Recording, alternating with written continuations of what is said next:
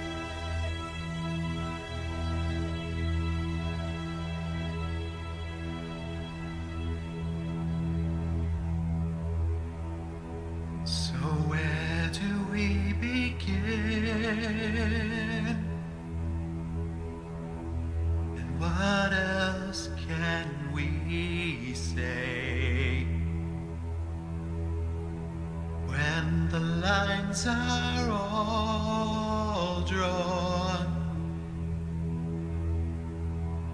what should we do today?